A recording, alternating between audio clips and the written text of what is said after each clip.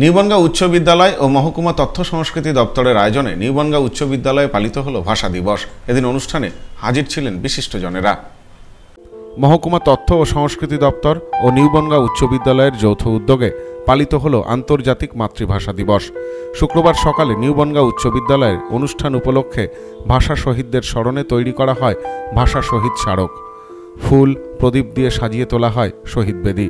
অনুষ্ঠানের শুরুতেই একে একে নিমন্ত্রিত অতিথিরা শহীদ বেদিতে পুষ্পার্ঘ নিবেদন করেন। শহীদদের স্মরণে জেলে দেন প্রদীপ। রফিক সালাম বরকতের স্মরণে সকলেই গেয়ে ওঠেন, সবকটা জানালা খুলে দাও না। আমি গাইব বিজয়ের গান।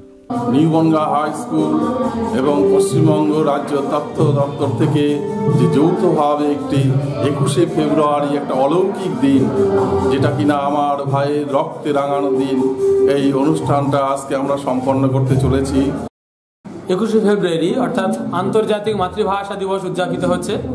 এবছর একটু অন্যরকম, তার কারণ রাজ্য তথা বনগাঁও মহকুমা তথ্য ও সংস্কৃতি দপ্তর এবং নিউ বনগাঁ হাই স্কুলের যৌথ উদ্যোগে এই দিনটি পালিত হচ্ছে আমাদের বিদ্যালয়ে। এদিন ভাষা দিবস উপলক্ষে বিদ্যালয়ের ছাত্র শিক্ষক শিক্ষিকা সকলের সম্মিলিত নানান অনুষ্ঠানের আয়োজন করা হয়। পরিবেশিত হয় আবৃত্তি শ্রুতিনাটক সংগীত। মাতৃভাষা উদযাপন দিবস সারা বিশ্বে পালিত হচ্ছে। আমাদের মাতৃভাষাকে, বাংলা ভাষাকে এক গৌরবোজ্জ্বল স্থানে উন্নীত করতে সমর্থ হয়েছিলাম। আজ নিউবনগা হাই স্কুলে সেই মাতৃভাষা দিবসের সত্যতম উদযাপন দিন পালিত হচ্ছে।